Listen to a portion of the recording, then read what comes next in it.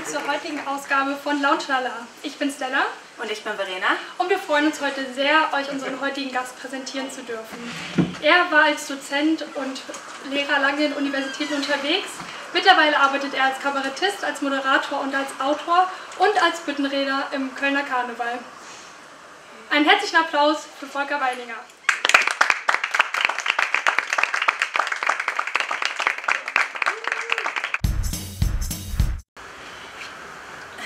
Ja, Herr Werner, schön, dass Sie da sind. Ähm, vorab dürfen wir Sie duzen?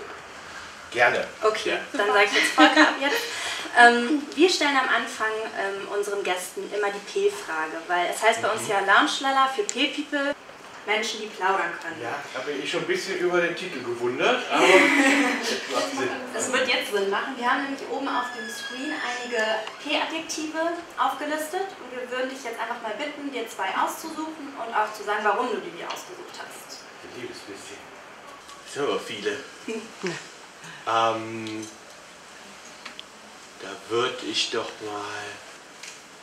Da gibt es jetzt so auf Anhieb. Nee, sind einfach die größten sonst. Keins davon, mit dem du dich ein bisschen identifizieren könntest.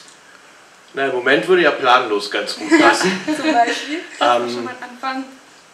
Und ansonsten weiß ich es gar nicht so. Sonst belassen wir es. Ja, nehmen wir doch mal bei planlos. Nehmen wir Planlos. planlos.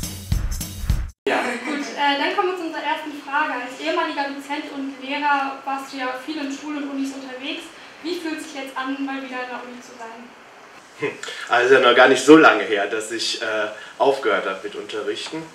Ich habe wirklich, also ich habe auf Lehramt studiert, Deutsch und Englisch und habe dann ganz lange an verschiedenen Hochschulen im, im Rheinland, in Bonn habe ich unterrichtet, in St. Augustin und in Bad Honnef, da gibt es auch so eine private Fachhochschule und deswegen ist mir das jetzt gar nicht so unbekannt, da nochmal äh, vor Studis zu sitzen. Also es fühlt sich gar nicht so neu an eigentlich. Und verarbeitest du dann eher die Erfahrungen, die du als Volker in der Schule gemacht hast oder die, die, man als, äh, die du als Herr Weininger als Dozent gemacht hast? Sowohl als auch. Also da geht es schon auch um Erfahrungen, die ich selber in der Schule gemacht habe, aber auch um, um Dinge, die ich als Dozent erlebt habe. Aber das ist jetzt auch nicht so ein klassisches Lehrerprogramm, wo ich mich jetzt als Lehrer dahinstelle und da vorne sitzt meine Klasse, sondern ich erzähle das schon als Volker, aber da äh, fließen natürlich die ganzen Erfahrungen äh, auf beiden Seiten der Front mit ein. Ja. Gibt es da denn eine Anekdote, die du uns irgendwie spontan erzählen kannst als Schüler oder als Lehrer, die besonders oder die auch in deinem Programm vorkommt, die besonders lustig war? Naja, also ich habe ja wie gesagt, ich habe auf Lehramt studiert und bin dann während des Studiums für ein Jahr als Aushilfslehrer nach England gegangen, um da Deutsch zu unterrichten. Und das war dann auch der Grund, warum ich mich entschieden habe, nicht Lehrer zu werden. Weil da hat mich dann wirklich die Praxis traumatisiert, weil die Kinder, die Schüler, die hatten null Bock darauf. Und ähm, die haben wirklich, das hört sich immer übertrieben an, aber die haben wirklich mitten im, in meinem Unterricht den kompletten Parkettfußboden auseinandergenommen und Okay. fein säuberlich wieder neben der Heizung aufgestapelt. Und da haben wir gedacht, ach, erzieht eure Kinder sein. allein. Nee. Okay, das kann man dann natürlich verstehen. Dann kommen wir zu unserer nächsten Kategorie, zu unseren vier Fragen. Da stellen wir unseren Gästen immer die gleichen vier Fragen. Und die erste ist, was kann niemand besser als du? Musst auch jetzt eigentlich auf dem Screen. Genau, das ist schon. Das kann niemand besser als ich. Oh, Ja. das, äh, ich glaube, auf der Bühne viel Bier in kurzer Zeit trinken. Ja, sehr gut. Ähm, Ist doch schon mal was, das, oder? ist auch, das kann nicht jeder, genau. Talent, Was äh, oder wer wolltest du werden, als du noch ein Kind warst? Arzt. Arzt. Aber dann habe ich gemerkt, dass ich kein Blut sehen kann. Und dann habe ich pfiffig, war ich pfiffig genug, um zu, zu merken, das wird nichts. Hast du das denn gemerkt kurz vorm Studium oder? Nein, dass ich kein Blut sehen konnte, ist mir deutlich früher aufgefallen. Ja. Gut. Äh, was hat dich tief bewegt? Oh. Ähm.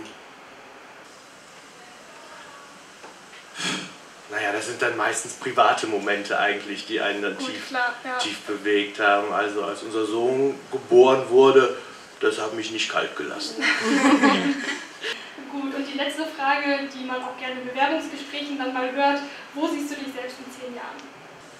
Hm, das ist also in der Tat eine Frage, die ich aus Bewerbungsgesprächen nicht kenne, weil ich in meinem ganzen Leben noch kein einziges gemacht habe. Ähm, ja, ich hoffe, äh, da, wo ich jetzt auch bin, dass, es, dass ich auf der Bühne bin und dass es alles ganz gut läuft. Da würde ich mich freuen. Dann ähm, würden wir dann auch gerne mal auf deine, ähm, deinen Beruf als Kabarettist an sich auch zu sprechen kommen. Ähm, vielen ist es ja sehr, oder vielen Kabarettisten ist es ja immer sehr wichtig, dass sie nicht als Komiker oder Neudeutsch Comedian ähm, bezeichnet werden. Warum ist das so und warum bist du lieber Kabarettist? Na, dann da unterstellst du mir ja direkt schon, dass ich gar nicht als Comedian bezeichnet werden möchte. Also prinzipiell finde ich, bin ja jetzt nicht so ein großer Fan davon, Leute in Schubladen reinzustecken. Aber viele Leute denken in Schubladen halt. Und ich finde, man kann das, gerade diesen Unterschied zwischen Comedy und Kabarett, kann man eh nicht so klar ziehen, die Grenze. Ähm, vielleicht, also es gibt diesen alten Spruch, der äh, Comedian macht es wegen dem Geld und der Kabarettist wegen des Geldes.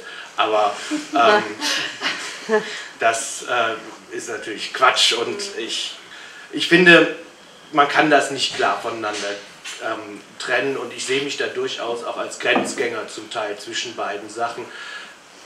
Wenn, wenn man jetzt sagt, dass man schon einen gewissen Anspruch hat, auch was transportieren zu wollen, ähm, dann wäre ich wahrscheinlich eher Kabarettist, weil es gibt da schon ein paar Dinge, die ich ganz gerne den Leuten auch mit auf den Weg geben möchte. Ähm, Deswegen würde ich mich dann eher als Kabarettist bezeichnen, aber wenn mich jemand als Komiker bezeichnet oder als Comedian, dann ist mir das genauso recht.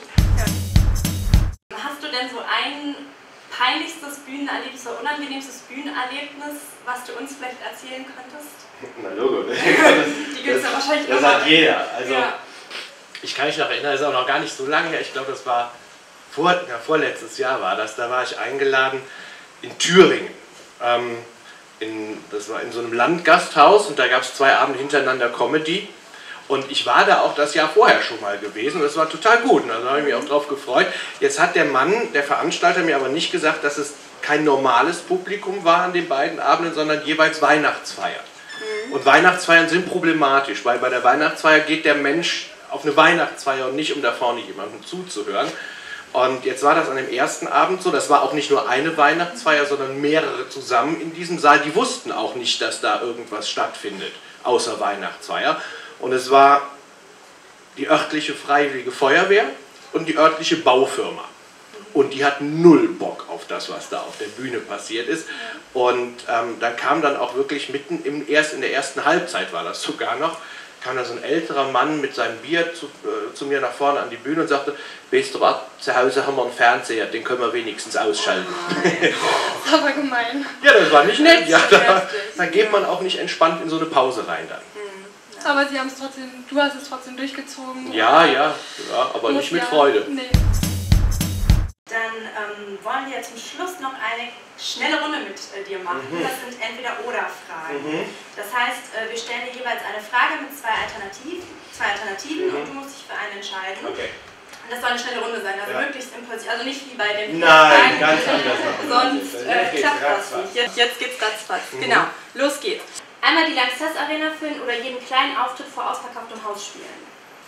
Kleiner Auftritt, ausverkauftes Haus. Im Alter lieber ohne Haare oder ohne Zähne? Haare. Karneval in Bonn, in der Heimatstadt oder Karneval in Köln? Köln. Lieber für immer, Das schneiden wir raus. für immer vegan essen oder jeden Tag mit Igel? Oh! Matt Eagle. Aufzug oder Treppe? Treppe. Sportlich. Ja, dann vielen Dank. Ähm, ja, wir freuen uns, dass du da warst, dass du dir die Zeit genommen hast, unsere Fragen zu beantworten. Sehr gerne.